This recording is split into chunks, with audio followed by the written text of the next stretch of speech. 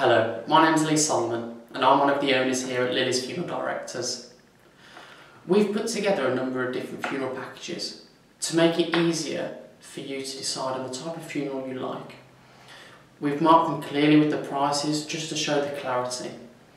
The only thing the funeral packages don't include, apart from the direct cremation package, is the disbursements. These are things such as the crematorium fee, a doctor's fee if it's needed, and a minister's fee unless you have a family minister that wants to take the service. If you've got any questions about our funeral packages, please give us a call in the office and we'll happily answer any questions you may have. The reason we put the funeral packages together, when we first opened, we had a long list of options and after analysing the different options that families would choose, we found that there was only mainly two different types of funeral. A simple funeral and a, the traditional funeral, which you can see the full details of both funeral packages in the links below.